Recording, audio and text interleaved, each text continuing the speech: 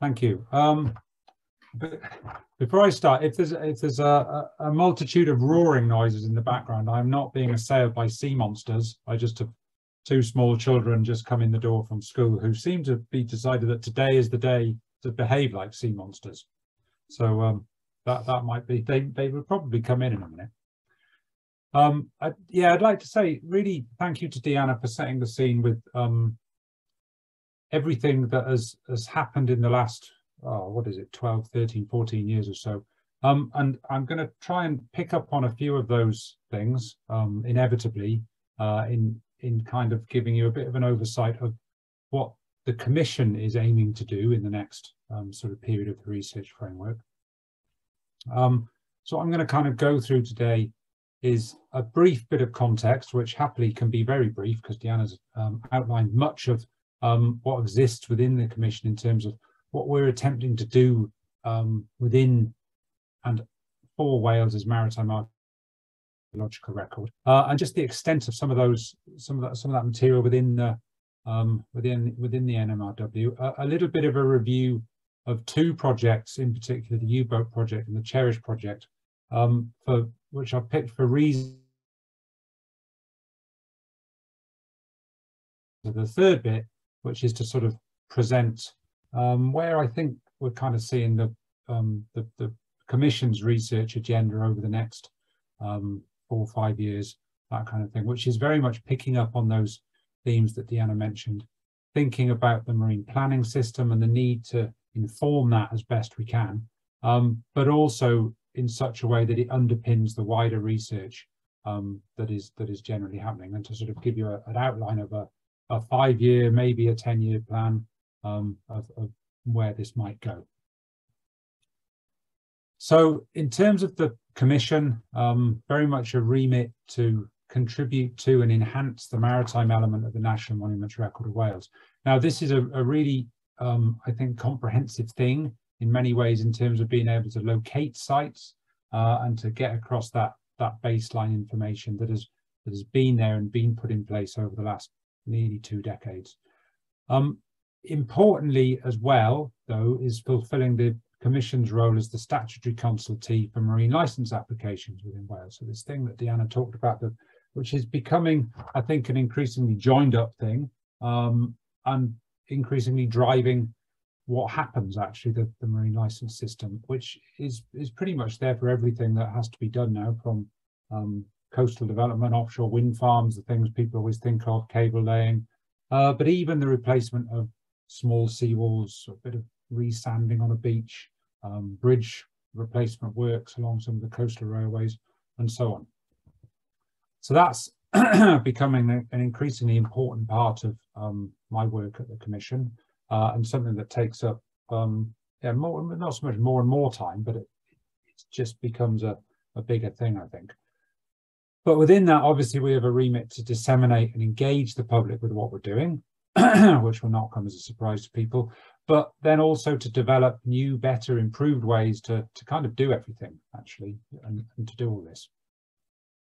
Now, those records that we have within the Commission um, at a national level, as, as those of you who will, who will have looked at the draft chapter, um, have some understanding of, of what's in there around the sort of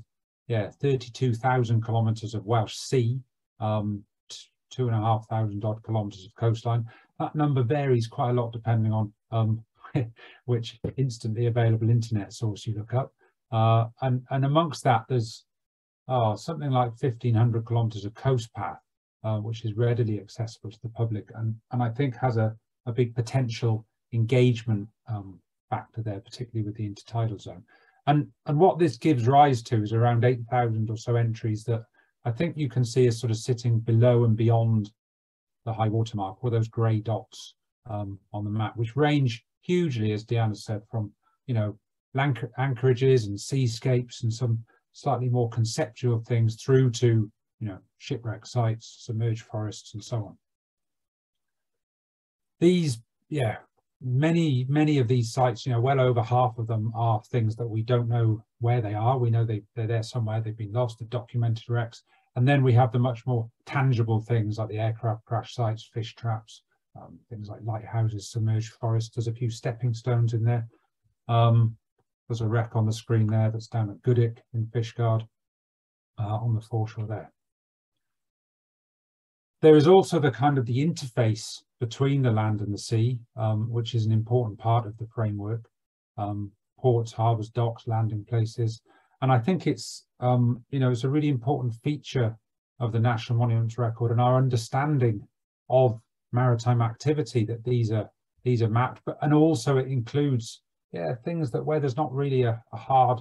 you know structure thing, an anchorage um, or a roadstead, these kind of things, and the, and the projects that have happened to to kind of put those in place, I think are really really important and shouldn't be overlooked. And then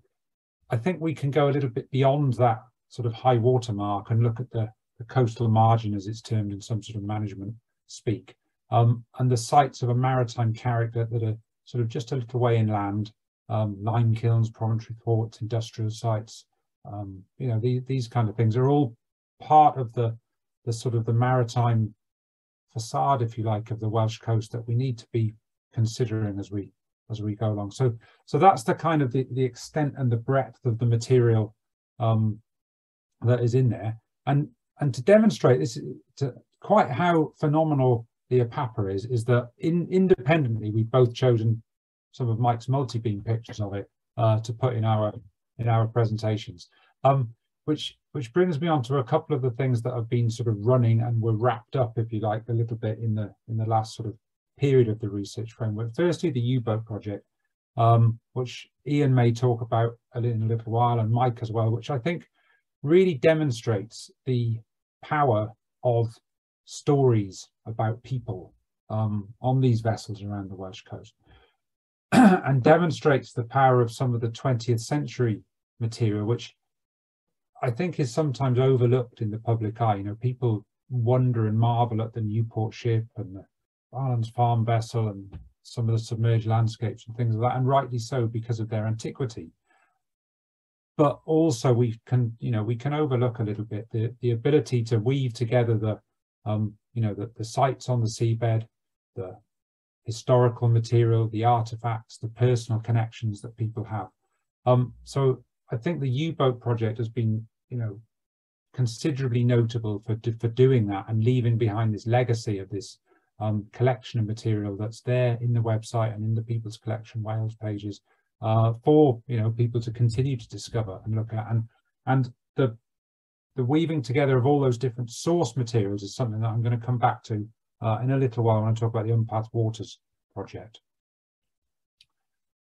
Secondly, then on to the, the Cherish project, um, which has played a huge part in directing what the Commission has been doing in the last few years. Um, Cherish has now completed the first phase of its work, uh, which is the sort of the, the predominantly fieldwork phase and has moved on because the project has been extended slightly by 18 months or so because of the because of the pandemic uh, and because of the sort of a, a, little bit of extra both time to replace that lost time and some of the funding that was in place because of that, a bit complicated, um, but is running till I think it's next summer now, all in all, um,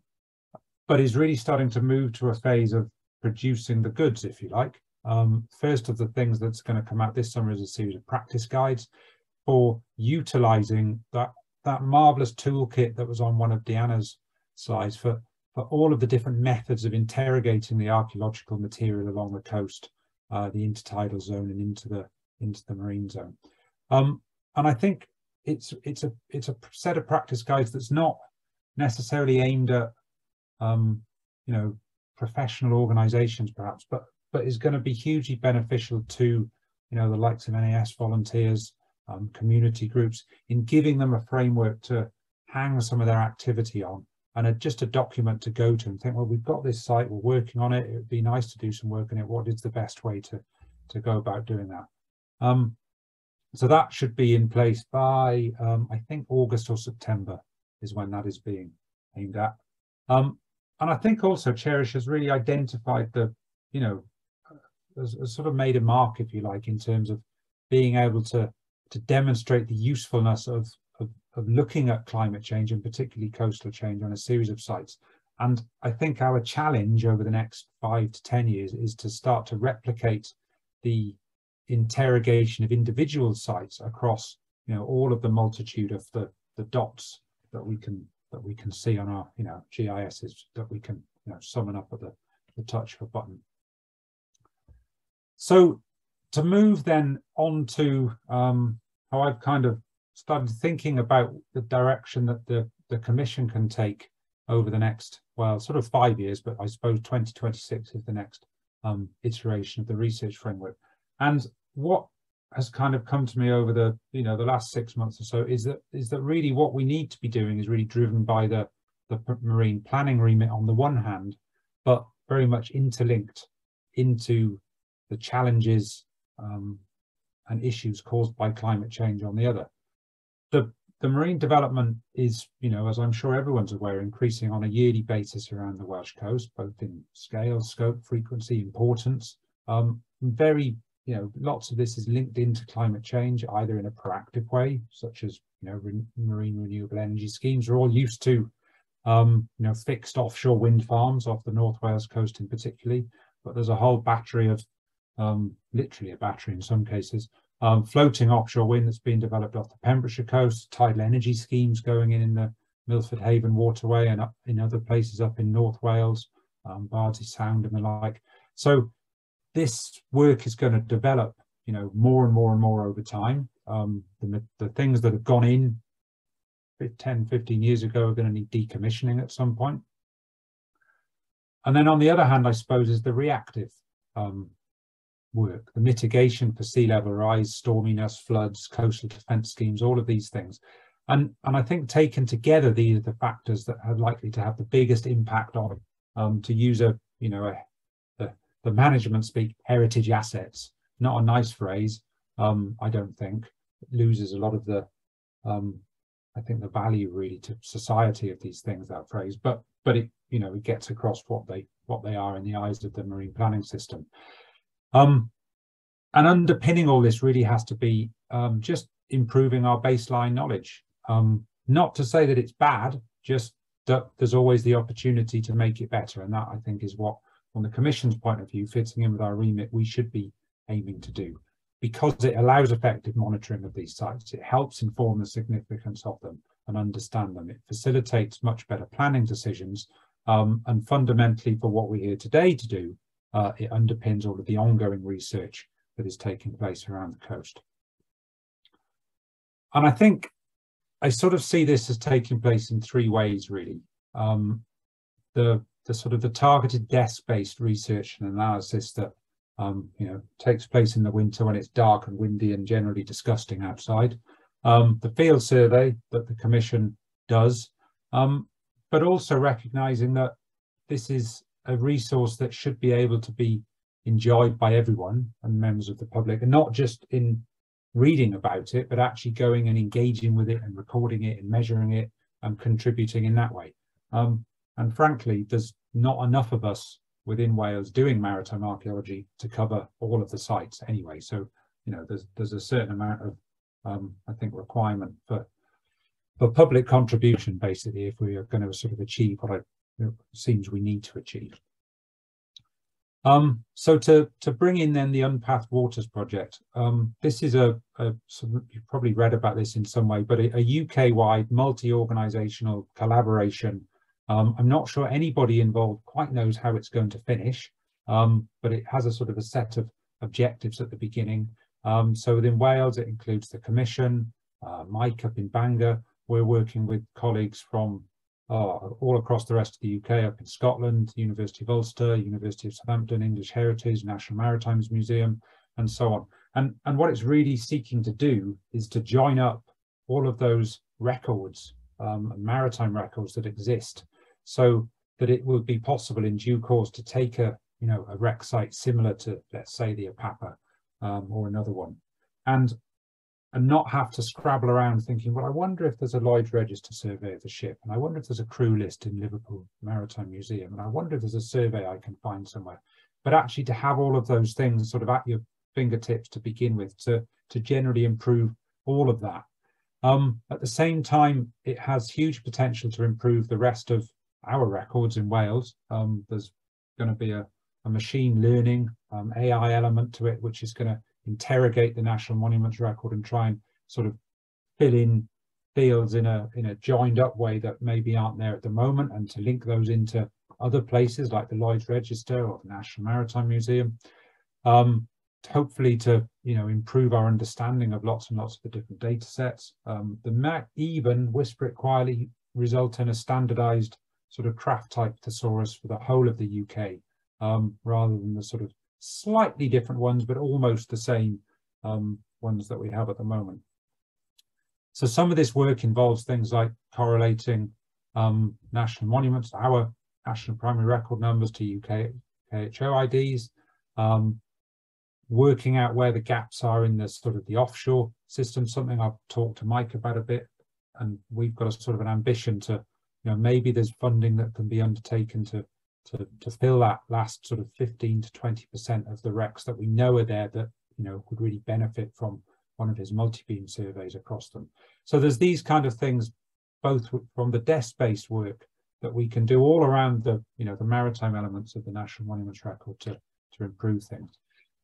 There is, of course, the field survey itself um, that we can do. So this is one of uh, Toby Driver's aerial photos of Goodwick uh, taken at the beginning of March 2022 when in a in an extreme piece of joined up um, archaeological fieldwork, he was flying over Goodwick Sands at the same time that I was on Goodwick Sands, um, which meant that we were, yeah, literally almost doing the same thing at the same time. But we have this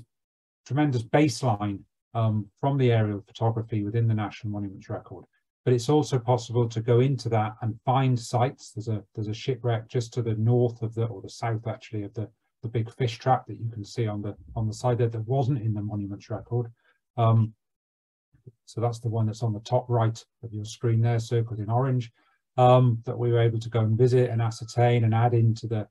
the NMR, but also to start trying out a few different techniques, in this case, marine geophysical survey on test sites or intertidal geophysical survey, I should say, using terrestrial methods in the intertidal zone, just to really test them out and understand if they're feasible, applicable, um, you know, what their usefulness might be on sites where we know there is stuff. Um, and we've done this on two, three sites down in um, Pembrokeshire at White Sands uh, and down at Albion Sands with a range of different sort of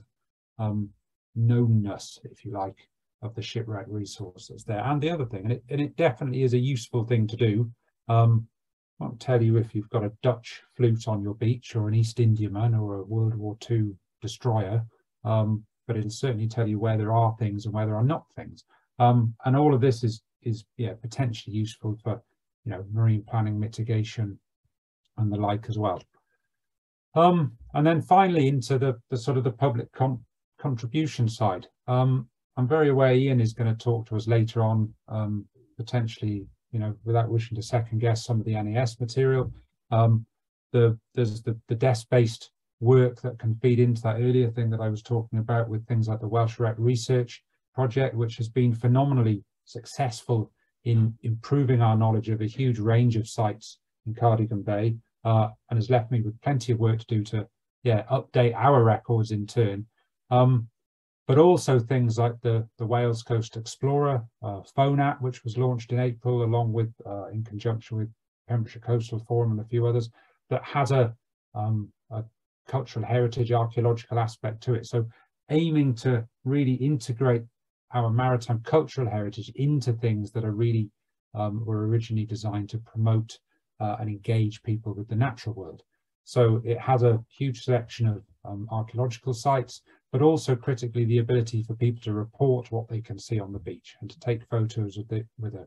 location on it and to just, you know, hopefully fairly easily say, well, there's this thing is here that I've never seen before. Um, somebody should know about it because I think, that, as we all know, the public are, you know, hugely um, informed and and and happy to inform us where things are. And yeah, that that is what is needed to kind of um, build on the on the on the success of what's happened previously, and to try and increase our knowledge of these sites and to discover the new ones. And there are still sites there. You know, those those 8,000 records are not the be all and the end all of the maritime archaeological resource in Wales. Um, there are new things being discovered all the time. So in terms of a, um, a sort of a five or 10 year plan, um, really about more detail, I think from my perspective, um, I think we have a really good understanding of what's where Um, and it's just about filling in additional detail of what's actually there on the ground. Um, and in an ideal world, that is to go out and laser scan, photogrammetry survey, whatever it might be, the most appropriate method, all of these sites, which sounds like a mad idea uh, in some sense because there's a lot of sites, but actually I think it's something we should be ambitious about doing um, and can probably achieve it over the next, um, I'd like to say five years, maybe 10 years. Um, so yeah, come back in 20, 2032 um, to see where we're at with that. And but I think really because it enhances our ability to hit the marine planning objectives, climate change, but it just improves the fundamental record that we have to um, record things and for people to research them. Okay, obviously we're going to have